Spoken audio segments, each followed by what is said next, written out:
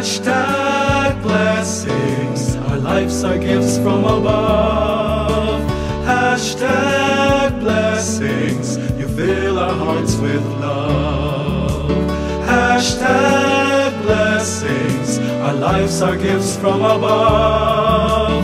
Hashtag blessings. You fill our hearts with love.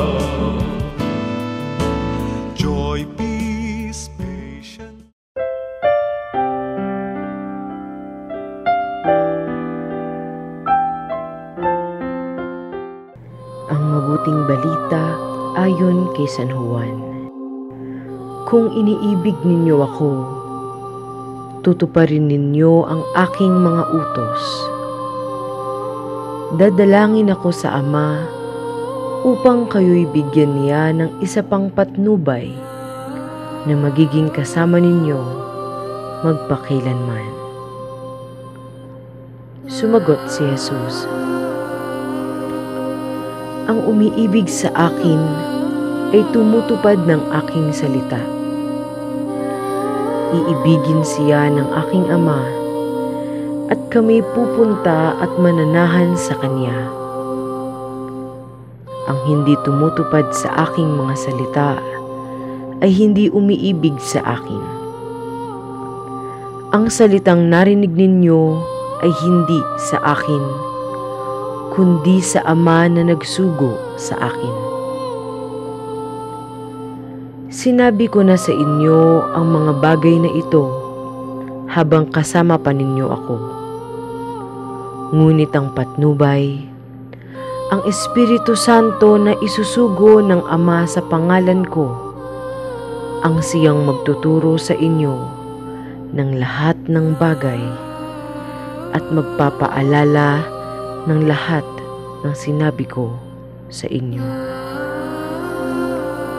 Ang mabuting balita ng Panginoon. Maligayang kapistahan po ng Pentecostes. Maligayang kapistahan din po, Naku, Bishop. napakabanayad ng inyong boses, no, Cora.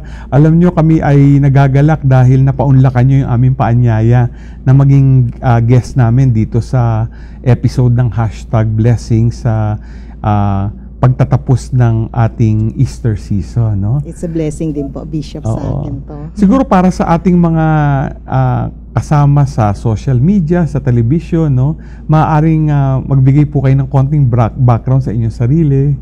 Ah, Ako po si Cora, tawagin na lang Cora Butyong. mm, Married po ah, with three boys. Um, 32 years na po ako nagturo as college faculty.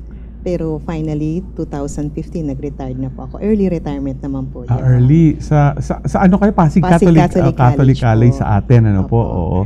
So Tatlo pong boys ko, nag-graduate po ng PCC yon. Oh, okay. Pero yung dalawa po hanggang grade 6 lang Oo. and they entered the minor seminary. Wow, nasa minor seminary. Opo. oo. At doon na nga po nagsimula ang aking pagiging miyembro ng isang community kasi po nung nandun po kami sa minor seminary, isa po sa mga formation ng mga parents doon ay in-involve kami sa isang community.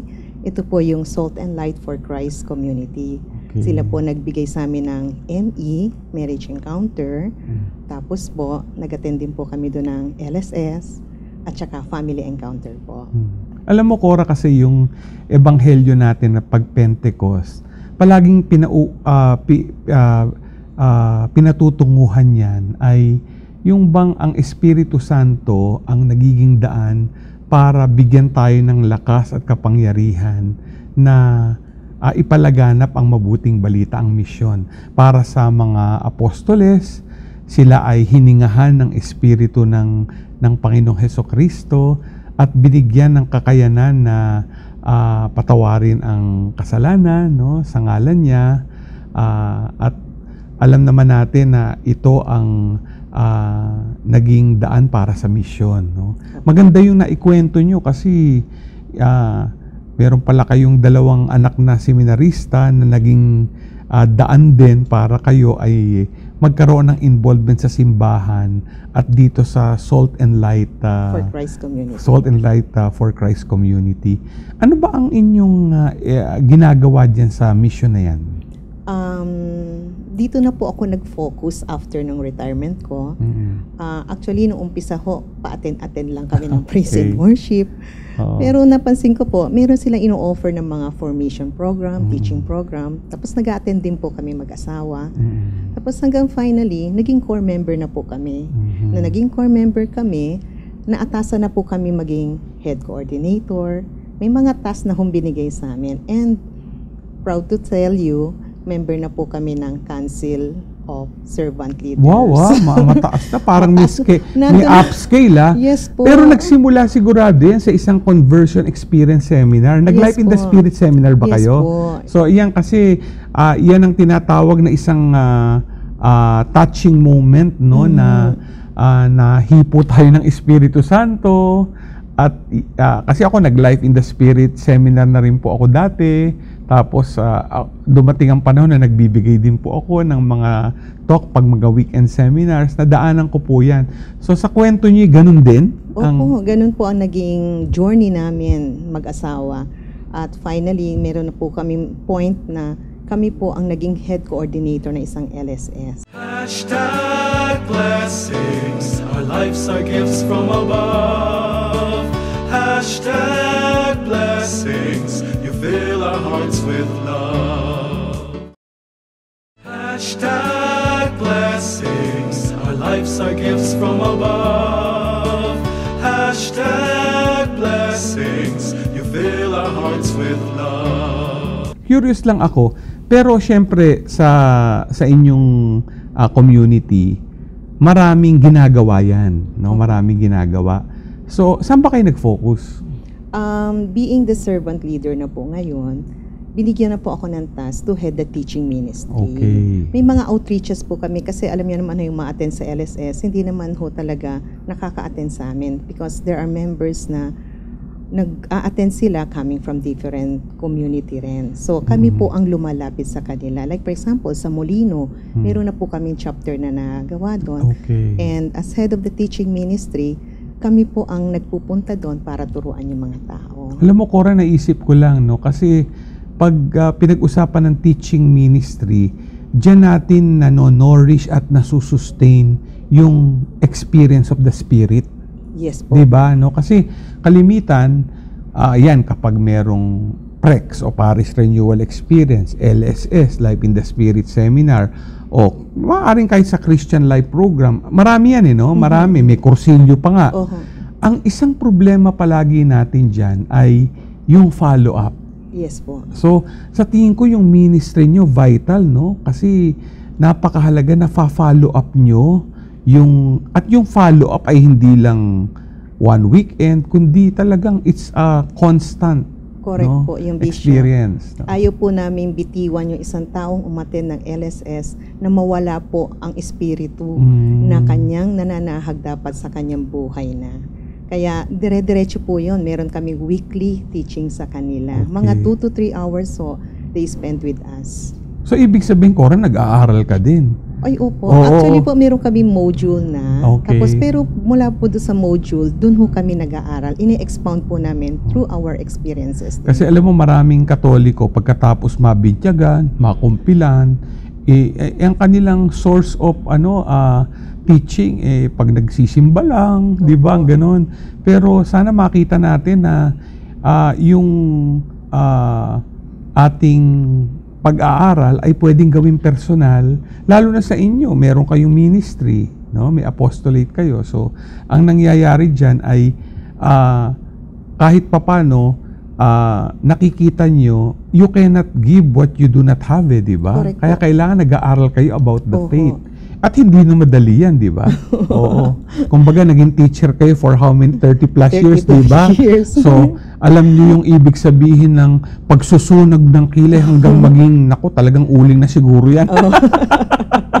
Pagdating dun sa pag-aaral tungkol Opo, sa faith, no? Pero maganda, mabalikan lang natin, ah, hindi kayo magtatagal dyan sa ministry yan kung wala rin kayo nakikitang mga konsolasyon, hindi ba? Tama po, Bishop. Mm. So, pwede ba kayong magbahagi, no? Kasi something that motivates you to Yeah. serve. Alam nyo, ah, kahit alam naman natin, weekly, yung mag- mag-spend ka ng time, iba yun eh, di ba? Sa traffic na lang hong sinusugod natin papunta dun sa lugar eh. Mhm. Iba rin po yun. Pero kinagagala ko po kasi po, may mga bunga ho na nakikita Okay. ako sa mga tinuturuan. Halimbawa po, ano yung mga buwang Ah, yan? kasi meron kami miyembro na doon na nung una, nung dumating siya, talagang parang pinagbaksakan ng mundo. Alam niyo ho yun, yung Oo. talagang, you could see na, para ba lahat ng problema, sinakop niya mula sa asawa niya, mula sa apo niya, hanggang sa kaapo-apuhan niya. Oo. Pero alam niyo, Talagang parang buhat ang mundo, ay ha? nako, oho, grabe nga ho ang ano noon, ang parang kulang na lang ipako na lang yata sa cruise yun eh. Pero alam niyo ho, natyaga ho namin yun. Sabi ko, attend ka lang, dasal ka lang, kasi nag-LSS ka eh. The Spirit lives in you. Let us awaken the Spirit. Alam niyo, hindi ho nagtagal. Nung minsan napansin ko siya, iba na po yung aura niya. Sabi ko, wow, parang very light ka na. Sabi niya, alam mo, matagal-tagal na rin ako ma-attend nito. Pero napansin ko nga yun, hindi na kami nag-aaway sa bahay. o you see, nandun na ho yung fruit ng Yeah. meron na hong pagmamahal, may patience na raw, nakakapagtimpi na siya, Mhm. hindi na siya masyadong mainitan ng ulo niya, Mhm. konting bagay, nakakapagan na siya, papagtimpi na siya ng konti. Mm. Tapos po, ayun na nga, habang nagiging member na namin siya, magiging core na, ayun, na-encourage na namin, would you believe, nagbibigay na rin, nagiging sharer na po namin siya sa mga talk namin sa Wow. LSS.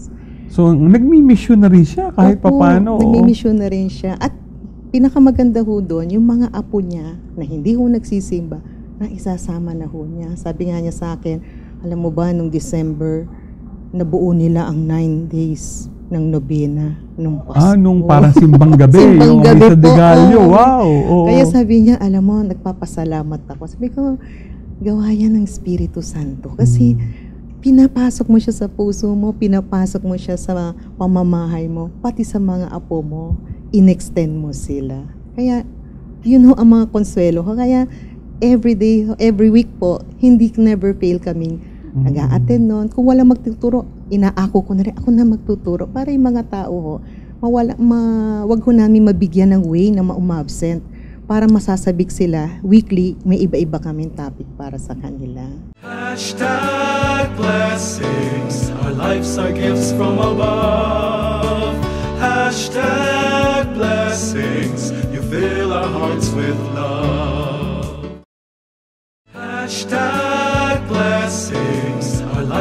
Gifts from above.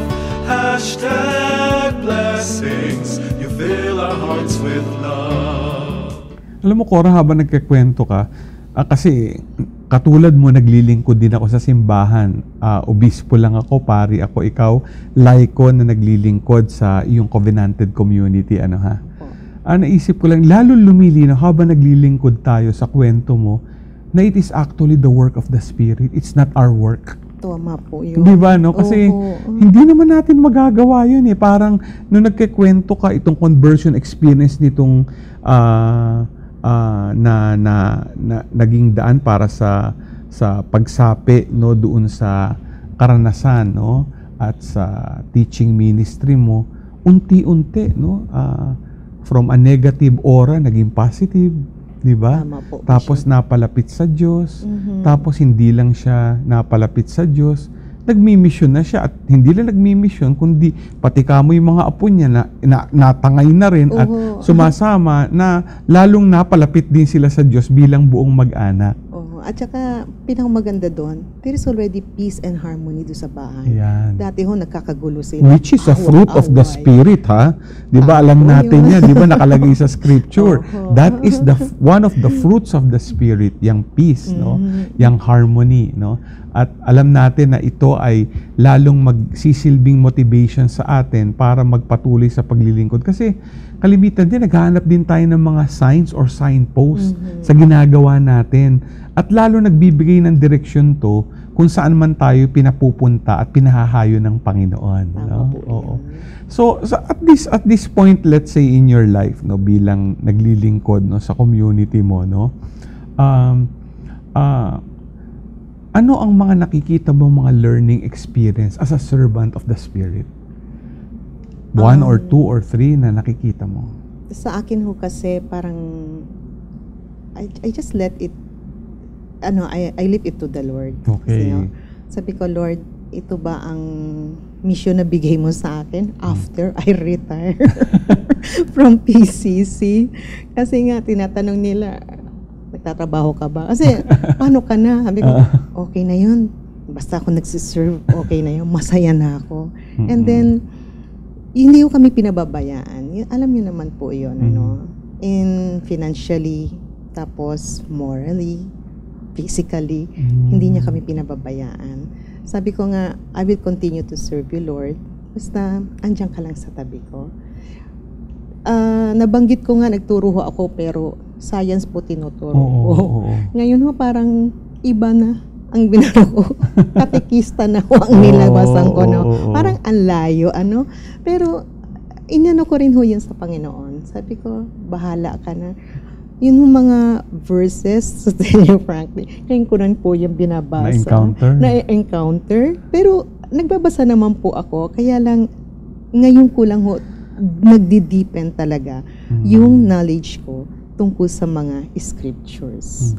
Iniisip ko lang, Cora, alam mo, ah, nothing in this world is an accident. Sa tingin ko, ah, prepare ka ni Lord for this mission. Kasi sabi mo nga, bagamat nagtuturo ko ng science, nagtuturo ka din. Oh, So ngayon, ang itinuturo mo about the faith. yes Di ba? So, Oo. doon eh, dun- yun ang misteryo ng buhay natin eh. Makikita natin, ganun pala gumalaw ang Diyos, no? At we just have to parang ang tawag ng iaabot natin yung kamay natin at hayaan mong tayo ang giyahan. Dati tayo nagmamaneho eh, Mhm. no? And uh, when you entrust, no, entrust the Lord, sabi nga ay hindi kanya pababayaan. Nandyan lang siya palagi, no? At ah, nandun ang paggabay, nandun ang pagmamahal, no?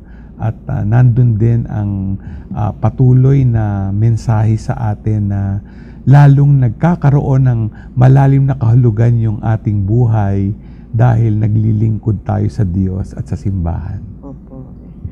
So, meron ka bang meron ka bang maipapayo naman sa iba para mahikayat sila to be a servant of the Holy Spirit? um, iaano ko lang sa mga kapatid ko na intayin natin, we have to listen to the Lord. Mm. Kasi nga, sabi nga nila, when we pray, we always pray, pray ka ng pray, pero sometimes we have to listen to the Lord. Kasi siya yung magdidirect katulad ko. Nakinig ako, hindi ko alam talaga kung saan ako patutungo after retirement, pero here I am, serving the Lord. Sana ganun din yung iba na hindi na lang manatili na tawag lang ng tawag, pakinggan yan din ng Panginoon kung ano ang mensahe niya sa atin. Narinig po natin kay Cora yung ah, kahalagahan ng pakikinig sa Diyos. Yun naman talaga ang hamon sa atin ng Panginoon, no? Ah, lalo na ngayong Pentecostes, hayaan natin ang bumulong ay ang Espiritu Santo. 'Di ba narinig natin? The Spirit blows where it wills, no? And ah, alam natin na yun ang bulong ng Espiritu ah, sinasabi niya kung anong dapat nating maging takbo sa ating buhay at narinig natin sa kwento ni Cora yung kahalagahan na ah, ang buhay pala ay buhay ng paglilingkod at hayaan lang natin ang Espiritu ang gumalaw ah, at gagawa ng paraan ng Espiritu ng Diyos para gamitin tayo lalo na sa pagmimisyon. Ah, linggo ng Pentecostes, linggo ng paghahayo. Lahat po tayo may mission sa buhay, pinahahayo ng Espiritu pero hindi pinababayaan. Tayo po ay pinadadala kung saan para ipalaganap ang mabuting balita ni Kristo.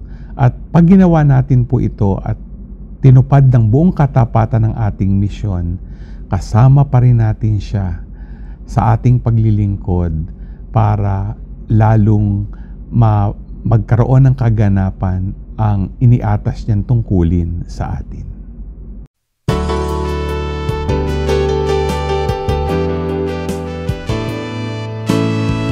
Hashtag blessings. Our lives are gifts from above.